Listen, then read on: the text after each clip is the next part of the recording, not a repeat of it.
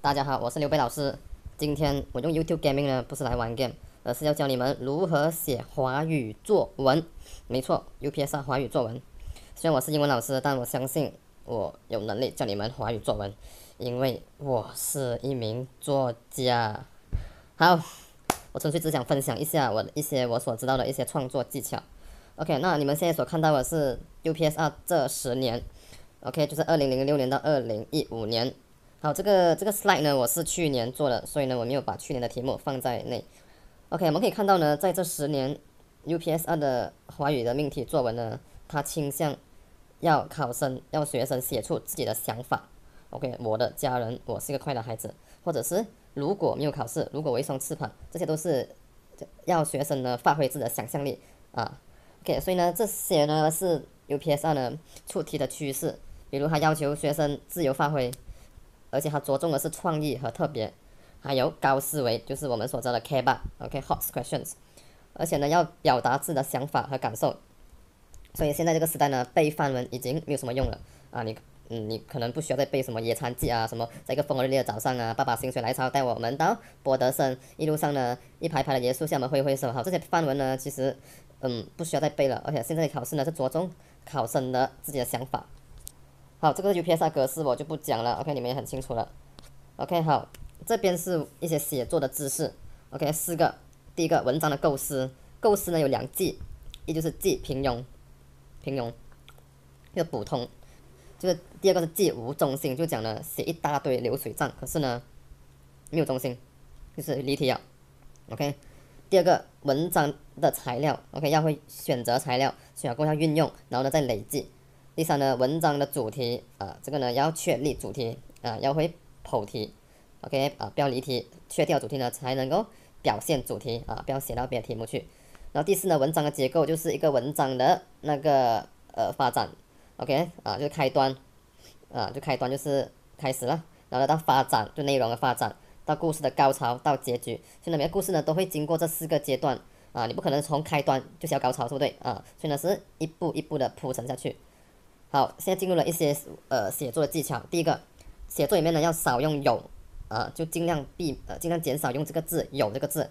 OK，你可以看到呢，嗯，上面那个例子呢，柯轩长得很漂亮，她有一头乌黑秀发，有一双水汪汪的眼睛，有有高高的鼻子，还有一双樱桃小嘴。所以这个有呢，就是把那个人呢，把那个外貌描写呢写的太过平面了，就好像从头写到脚很平面。OK，啊不立体。所以如果把有拿掉，OK 就换成 OK，一头乌黑的卷发披在肩上。一双大眼睛，水汪汪的，非常迷人，加上高高的鼻子和樱桃小嘴，看起来像个混血娃娃，同学们可喜欢他了。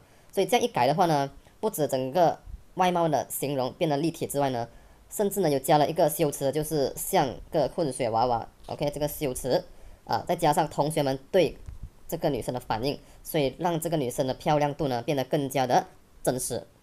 好，第二个呢，少用成语，多描述细节，有一些自己的感受。所以呢，一些学生呢，他们滥用成语。当然，我们不是说成语不可以用，可以用，可是不要一直用一个句子三个成语。你看，今天风和日丽，无边的桃红柳柳，我感到心旷神怡啊。所以呢，这个成语呢，其实已经是抹杀了那个学生自己的感受，因为成语的其实并不是你的感受，成语只是古人的把环境浓缩成四个字而已啊。所以呢，写作文呢，其实是不需要太多成语的啊。你可以把这个风和日丽啊写成啊，微风轻轻拂过树林，OK，然后呢，湖面漾起了一圈圈涟漪。后边的柳树摇摇摇着树枝，仿佛向我招手。OK，这边用的比拟，OK 啊，比喻和比拟都有用啊。所以呢，这边这样一改的话呢，就把整个环境呢，就让读者呢，让那个考官呢，觉得哇，这感觉呢非常真实。好，下一个少用很，也少用非常，因为用太多很呢，太多非常呢，变得很很死板。OK，所以去掉很，尝试用其他现象来描写这个很生气，这个很 OK 啊。好，爸爸很生气。好，怎样生气呢？你可以用形容爸爸的外貌，比如爸爸的额头露起青筋，红丝布满眼白。OK，这是爸爸的脸。再加上周围的气温，周围的温度似乎突然间沸腾了。所以呢，这边呢就把那个很生气，就变成了一个形象化。OK，啊，从爸爸的样子到周围的环境的变化，所以呢，整个感觉呢就非常的形象，非常的让读者感受到那个生气的那个气氛。好，第四呢，非生物也可拟人化。一般上呢，我们常对周遭的生物进行拟人化，比如耶稣在向我招手，小鸟在唱歌等等等。OK，如果我们我们现在孩子呢是都市孩子，周围没有耶稣，没有小鸟，怎么办呢？就写我们身边东西，比如电线杆，OK，那个电那个柱子，OK，比如那个柱子那个电线杆在欢迎我回家，或者是椅子那个木椅子发出刺耳的抗议声，所以这些都是一种拟人化啊。拟人化不只是把动物拟人，也可以把那种非生物拟人化，这样感觉呢会比较生动。好，第五呢，这个呢是我的看法了，OK，可能有些人不认同。我觉得写句子要短，一段文字呢最好出现呃六个标点符号，一个句子呢最好不要超过五个字。OK，这个是我在写小说学到了啊。如果你的句子太长，标点符号的太少，你会让那个考生、那个考官，那个批考官呢，就你的，你的觉得你的作文呢很长气，OK，就很一堆文字，OK，看到有点不想看得下去。所以呢，要怎样吸引那个考官呢？就是把句子尽量切成几段，OK，比如原本句子高高绿的草，散发出的清香，一根根挺拔样子，看得清清楚楚。好，怎样切呢？就把那个草绿了、高了，散发出清香，一根一根看得清楚楚，样子很挺拔。好，这个写法呢，我觉得有些老师可能不认同了，OK。不过呢，呃，我写小说呢，我会倾向于把句子切小一点，OK，这样子读者呢看得明白啊，也愿意继续看下去。不然的话呢，一堆文字呢，读起来辛苦，而且呢也不吸引人，对不对？